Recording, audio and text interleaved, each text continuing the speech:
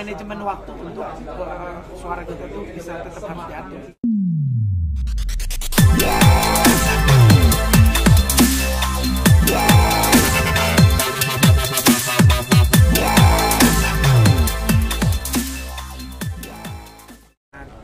perhatian gitu sama kondisi aku setahun yang lalu ya Kalau selebriti, Asal ya. ya benar aja. 2022 itu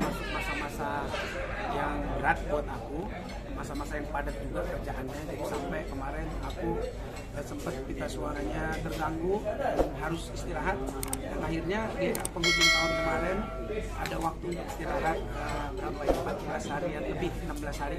Tanggal 19 aku 18 aku berhentinya ini, 19 aku berangkat ke Eropa sama keluarga untuk berlibur. Sekalian juga memang uh, mengistirahatkan kita suara yang uh, kemarin-kemarin tuh sempat terganggu dan akhirnya susah banget untuk uh, apa maksudnya uh, butuh recovery lah karena banyak jadwal dan nada-nada yang tinggi yang membuat kita suara itu harus istirahat. Dan kemarin jadwal di akhir tahun bisa bisa istirahat 14 harian lebih. Dan sekarang baru kembali tadi malam dari dari Perancis.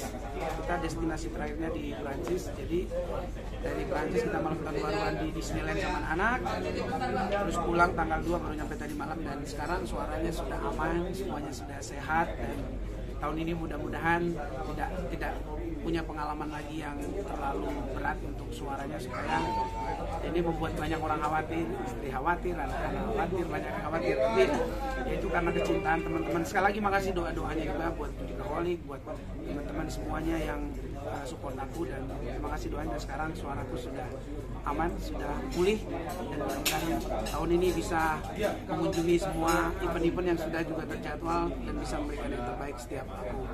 Lanjut ini pertama kali kan ada gangguan maksudnya di pita suara.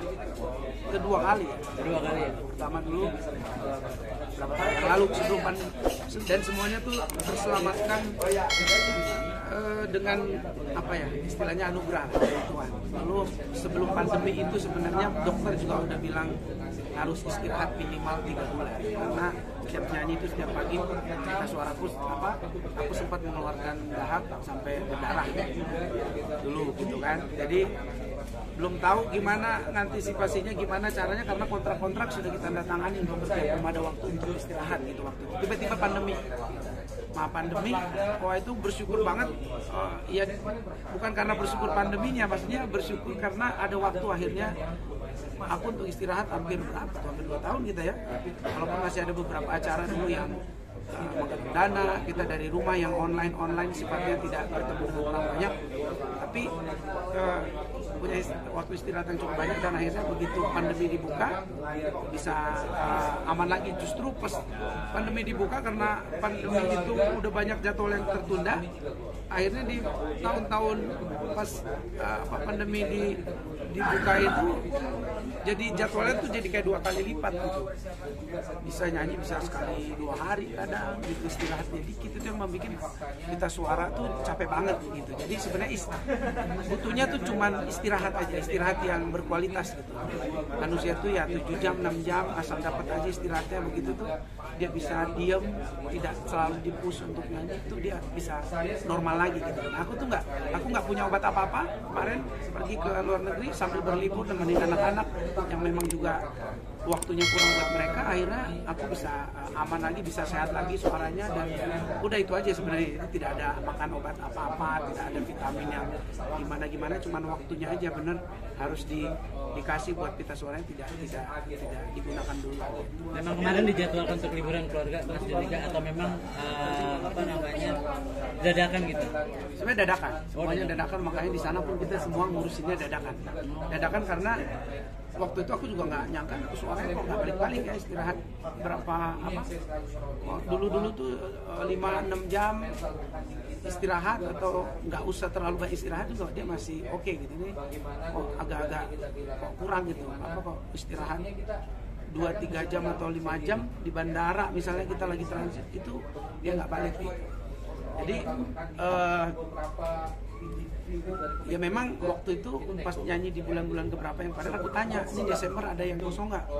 Jadi begitu ada beberapa yang pending atau kayak gini-gini langsung aku bilang blok dok tolong di blok untuk untuk waktu istirahat gitu. Dan uh, waktu itu masih ini juga tuh karena kita kan prinsipnya juga uh, ya namanya dapat kerjaan tuh ya pengen gitu pengen nyanyi pengen pengen nabung pengen ini pengen itu gitu. Lagi malam tahun baru biasanya kita selalu kerja dan biasanya uh, penghasilannya juga bisa dua kali lipat gitu secara honor tapi aku pikir nggak nggak bisa kayak gini karena udahlah kita ambil waktu istirahat benar-benar juga untuk waktu dan uh, keluarga dan walaupun dadakan akhirnya dapat waktunya di bulan Agustus apa November gitu. Ini ada nih gini gini gini blok. Ya udah akhirnya itu pun di blok istirahat bukan bukan jalan-jalannya gitu. Waktu itu cuma di blok untuk nah, istirahat. Jalan-jalan itu benar-benar kita baru pesan tiket itu dapat visa pun itu tanggal 17 jadi kita pesan tiket itu tanggal 18 berangkat itu tanggal 19 gitu jadi semuanya sangat tiba-tiba sampai di sana pun kita sambil jalan mau hubungi ini kita ke sini naik apa ini pakai apa. Semuanya tuh rock and roll. Lanjutkan ini dua kali nih kita suara terganggu ada maksudnya pernah terlintas pasti pikiran kayak apakah dengan dua kali kayak gini gua harus berhenti nyanyi kan itu seperti apa? Enggak enggak gua enggak. Terpikir cuma memang aku cuma mikirnya uh, semua semua suara yang over atau overuse itu perlu ini. Aku anggap semua itu manusia aja. Manusia itu punya punya uh, sistem tubuh yang sudah sudah punya ukurannya gitu jadi aku memang kemarin itu terlalu terlalu banyak bekerja istirahatnya kurang. Jadi cuman menurutku ya harus dikasih waktunya untuk istirahat itu. Dan manajemen juga udah kasih uh, aturan yang baru atau uh, rules untuk ke depan ke depan uh, bisa punya istirahat minimal satu hari lah seminggu. Dan acara-acara yang diambil tuh seperti apa supaya supaya pita suaranya tuh bisa tetap sehat gitu.